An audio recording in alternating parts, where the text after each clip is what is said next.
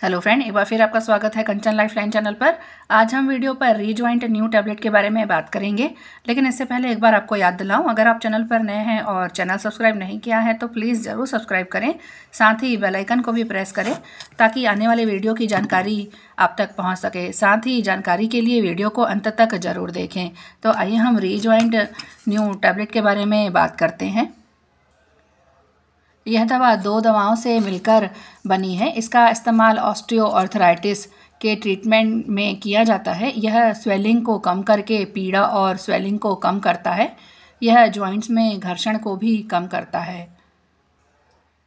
इस दवा के दुष्प्रभाव जैसे उल्टी, डायरिया हो सकते हैं और यह साधारणतः रूप से अपने आप ही ठीक हो जाते हैं। लेकिन अगर ऐसे दुष्प्रभाव बने रहते हैं तो आप डॉक्टर से परामर्श ज़रूर करें। यह दवा हर किसी के लिए उचित नहीं हो सकती। इसे लेने से पहले अपने डॉक्टर को बताएँ कि क्या आपको कोई इलाज स्थिति या डिसऑर्डर है। अपने चिकित्सक को और सब के बारे में, औषधियों के बारे में बताएँ, जो आप ले रहे हैं। साथ ही प्रेग्नेंट और स्तनपान कराने वाली महिलाओं को भी इस दवा का इस्तेमाल करने से पहले अपने डॉक्टर से ज़रूर परामर्श लेना चाहिए। ऑस्टोआर्थराइटिस एक ऐसी स्थिति है जो आपके हाथों, घुटनों कूल्हों और मेरुदंड के जॉइंट में पीड़ा, स्वेलिंग और अकड़न का कारण बनती है।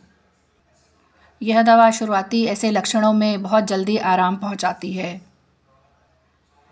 और पुराने लक्षणों में फ़ायदा देखने में अनेक हफ़्ते लग सकते हैं। अपने डॉक्टर द्वारा बताई गई दवा का, की खुराक और अवधि पर ध्यान देते हुए इसका सेवन करें। साथ ही आपके ब्लड ग्लूकोज के स्तर को बढ़ा सकता है। यदि आप डायबिटीज़ मरीज़ हैं तो अपने स्तर की निगरानी में करें।